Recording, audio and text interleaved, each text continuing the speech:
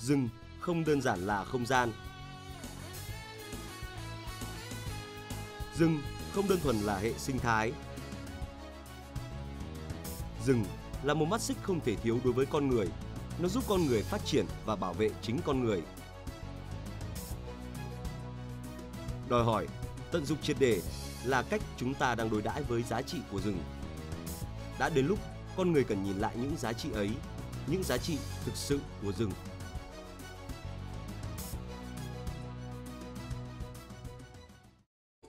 Ở Việt Nam, Luật Bảo vệ và Phát triển rừng năm 2004 lần đầu tiên đề cập đến giá rừng và ứng dụng giá rừng trong quản lý rừng và các giao dịch trong lâm nghiệp. Các khái niệm liên quan đến giá rừng được nêu tại điểm 9, 10 và 11 của Điều 3. Theo quy định này, giá rừng bao gồm và được hiểu như sau.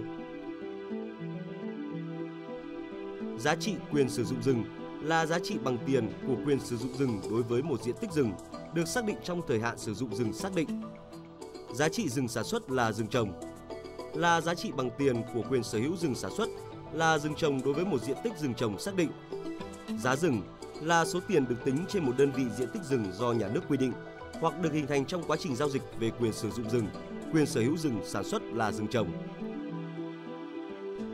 Điều 33, 34 và 35 của Luật Bảo vệ và Phát triển rừng năm 2004 đã đề cập tới xác định giá rừng. Trong đó có hai loại giá trị của rừng được định nghĩa đó là giá trị quyền sử dụng rừng và giá trị quyền sở hữu rừng trồng là rừng sản xuất.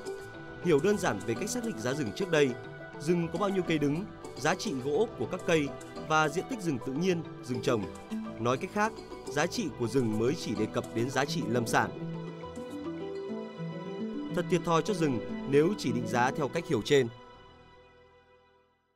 Hiện nay thì trong các cái văn bản mà pháp luật chúng ta quy định thì hiện nay chúng ta đang vẫn còn có những cái sự hiểu, chưa thấu đáo về cái việc giữa hai khái niệm, đó là giá trị và giá. Thực ra thì khái, hai khái niệm này là hai khái niệm hoàn toàn khác nhau. Chúng ta có thể xác định giá trị, còn cái việc xác định giá rừng thì phải là dựa vào cái quy luật của thị trường, hay nói cách khác đó là dựa vào giữa bên mua và bên bán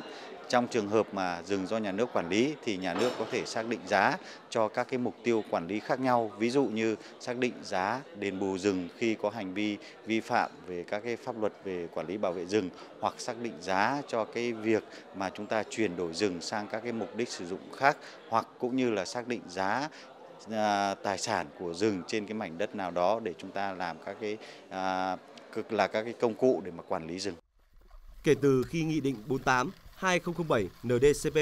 và Thông tư 65 2008 TTLT BNN BTC ra đời, quy định các nguyên tắc và phương pháp xác định giá của các loại rừng. Trên cơ sở các hướng dẫn này, các tỉnh đã chủ động tính toán xây dựng và ban hành khung giá rừng phục vụ cho các hoạt động như cho thuê rừng để kinh doanh môi trường rừng, đền bù khi chuyển đổi rừng.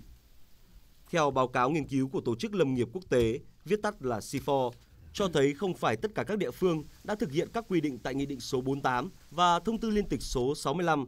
mà chỉ có một số địa phương triển khai xác định và xây dựng khung giá rừng để đưa vào các vấn đề quản lý và xác định giá kinh doanh cho thuê môi trường rừng để nghỉ dưỡng hoặc kinh doanh du lịch sinh thái.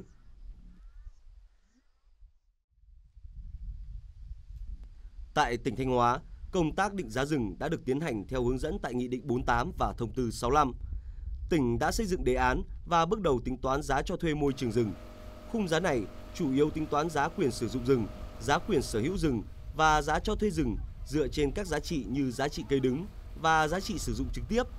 Tuy nhiên, trong quyết định của Ủy ban Nhân dân tỉnh về quy định các loại giá rừng trên địa bàn tỉnh Thanh Hóa đều chưa tính toán đầy đủ các giá trị sử dụng gián tiếp của rừng. Nó có một số cái hạn chế tồn tại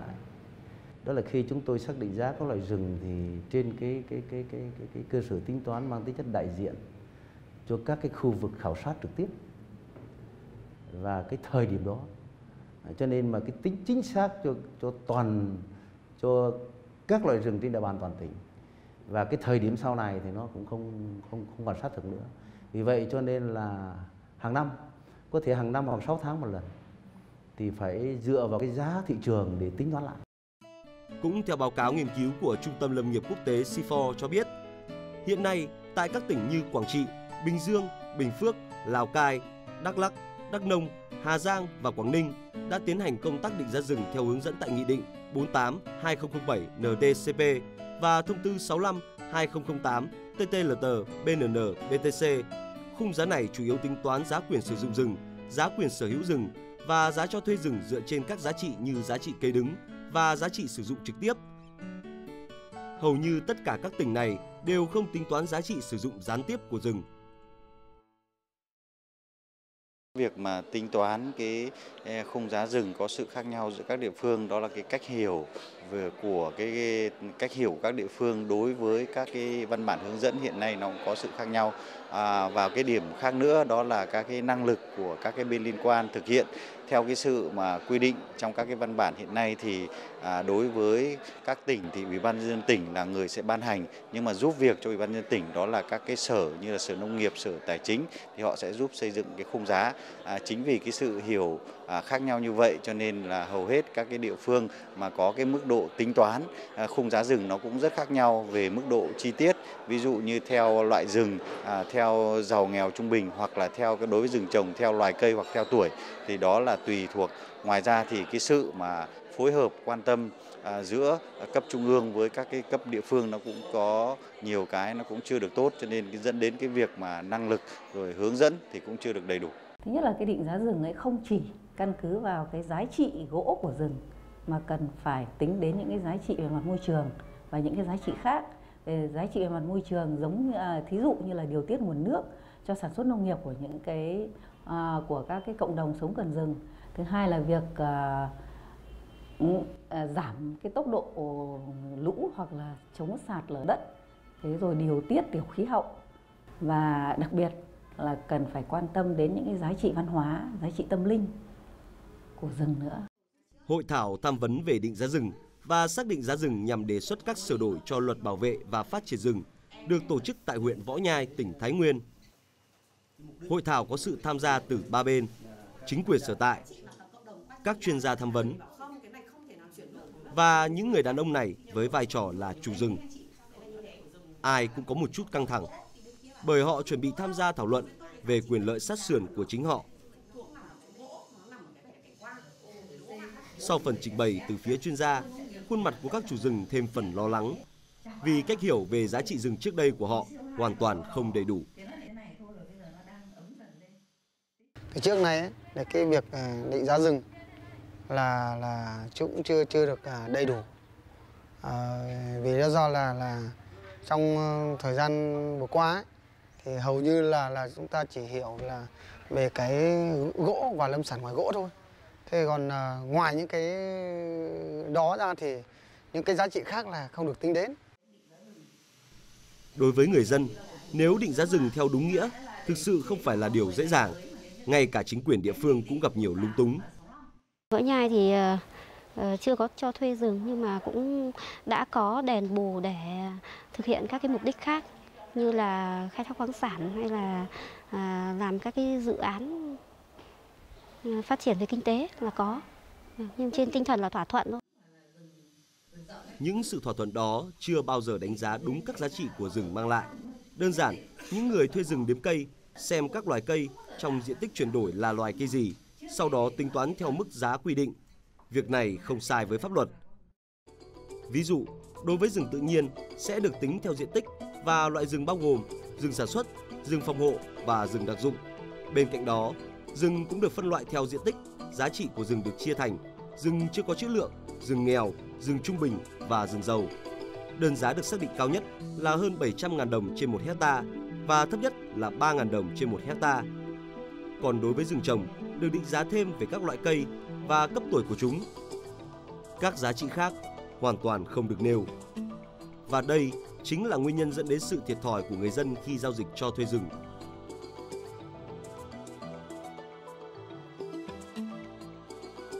Theo báo cáo của Tổ chức Lâm nghiệp Quốc tế, viết tắt là CIFOR, thị trường mua bán và giao dịch rừng cho các mục đích kinh doanh du lịch, nghỉ dưỡng, giải trí, các dịch vụ môi trường rừng như hấp thụ carbon, bảo tồn đa dạng sinh học, cảnh quan chưa phát triển và nhiều rủi ro. Đây là thách thức đáng kể trong hoạt động định giá rừng để cho thuê rừng. Đặc biệt là ở khu rừng đặc dụng, ở nhiều nơi mặc dù có cảnh quan đẹp nhưng do khả năng tiếp cận khó khăn, cơ sở vật chất nghèo nàn, không có khả năng kết nối với các điểm du lịch khác thì giá rừng cũng rất thấp. Mặc dù Chính phủ đã ban hành Nghị định 99-2010 NDCP về chính sách chi trả dịch vụ môi trường rừng. Nhưng việc mua bán mang tính bắt buộc này lại phụ thuộc vào người sử dụng dịch vụ môi trường như thủy điện, nước sạch. Do đó, ở nhiều nơi không có thủy điện, nhà máy sản xuất nước sạch thì việc chi trả này cũng không được thực hiện cho dù dịch vụ môi trường đã và đang được rừng tạo ra. Tương tự, thị trường mua bán tín chỉ carbon trong lâm nghiệp hiện vẫn chưa rõ ràng và chịu nhiều ràng buộc bởi các yêu cầu kỹ thuật chặt chẽ như RED cộng. Chúng ta cần làm rõ khái niệm, giá trị của rừng, định giá rừng và giá rừng. Trong đó, điều quan trọng nhất là cần thay đổi khái niệm về giá trị của rừng. Giá trị của rừng cần được định nghĩa dựa trên quan điểm tổng giá trị kinh tế bao gồm các giá trị sử dụng trực tiếp như gỗ, củi, lâm sản, các giá trị gián tiếp hay các giá trị dịch vụ môi trường rừng như duy trì điều tiết nguồn nước, kiểm soát xói mòn, hấp thụ carbon, cảnh quan và giá trị văn hóa, lịch sử, giáo dục. Định giá rừng là công cụ để xác định giá trị của rừng làm cơ sở xác định giá rừng. Định nghĩa về giá rừng cũng cần làm rõ, nhưng cần dựa trên tổng giá trị của rừng và phải thông qua giao dịch công khai trên thị trường.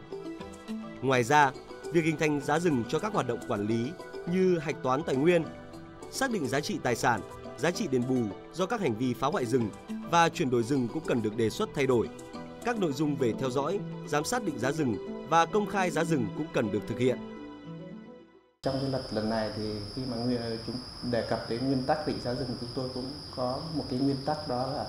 đảm bảo công khai minh bạch và có sự tham gia của các cái bên có liên quan đặc biệt là các cái chủ rừng và người dân gắn bó với rừng và cái giá trị như chị nói, liên quan giá trị môi trường, rồi giá trị đa dạng sinh học, rồi bảo tồn lưu trữ hấp thụ carbon, thì trong cái luật lần này cũng đã lồng ghép đưa vào còn cái công việc còn lại đó là sau này các cái cơ quan quản lý nhà nước, đặc biệt là các nhà nghiên cứu khoa học sẽ cung cấp thông tin đầu vào để chúng ta ờ, định ra một cái giá trị nó tương xứng ờ, và đầy đủ hơn cho các chủ rừng. Ngành lâm nghiệp vừa là ngành kinh tế nhưng cũng là ngành môi trường. Những lợi ích kinh tế do rừng mang lại là rõ ràng, nhưng các lợi ích về môi trường của rừng chưa được ghi nhận và thống kê chính thức tại Việt Nam. Xu hướng chung của thế giới hiện nay là tổng giá trị của rừng cần được hạch toán và thống kê nhằm có các chính sách đầu tư và quản lý rừng một cách phù hợp và bền vững. Việc đánh giá và thống kê đầy đủ giá trị của rừng sẽ giúp chúng ta hiểu biết tốt hơn về vai trò và tầm quan trọng của rừng, đặc biệt là vai trò của rừng trong bối cảnh biến đổi khí hậu. Từ đó, sẽ huy động được sự tham gia của toàn xã hội trong công tác bảo vệ và phát triển rừng